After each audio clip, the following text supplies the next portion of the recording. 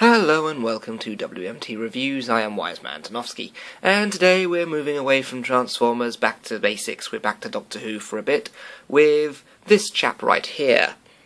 And this would be the Doctor Who 5 inch Cyber Controller.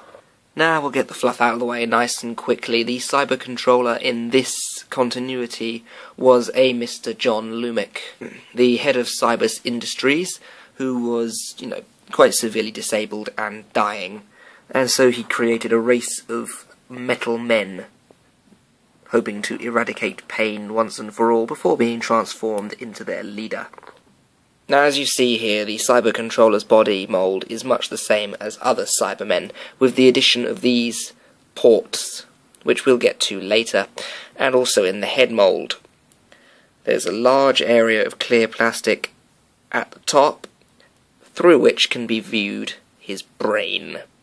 And I love that. Fantastic little detail there. Now, posability wise, the head can go round and round and up and down a little bit. The arms go out and all the way round. There's a bend at the elbow. The wrists do swivel all the way round. Now, there's an outwards joint at the hip and also forwards and backwards, but very restricted from this section here. They bend at the knee that doesn't quite go all the way to 45 degrees, but they're there, and then the foot is on a slightly posable bit here. Now, the Cyber Controller figure is very nicely detailed. You've got some lovely ink work done across the chest here, and the details are brought out fantastically all over him. You know, even in these sections here between the main armour with the wires and whatnot. It's really a nice bit of paintwork, better than some Cybermen out there. And what's rather special about this figure is he comes with somewhat of an accessory that is very difficult to get hold of these days. And here we have the Cyber Controller sat upon his Cyber Control throne, really. And obviously, fans of the show will recognise this as the sort of very steampunky wheelchair that was built for John Lumic who for some reason needed a throne. Uh, I don't really know why, probably just to symbolise how in charge he was. Uh, the detailing on the throne is lacking somewhat, but it does what it has to. Um, one thing I don't like are these cables at all, because they're supposed to plug into these ports that I mentioned earlier, and give him make him look like he's plugged in.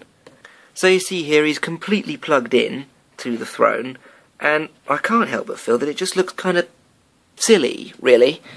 You know, I think the wires are too thick. Um, they're not posable, they just sort of flop.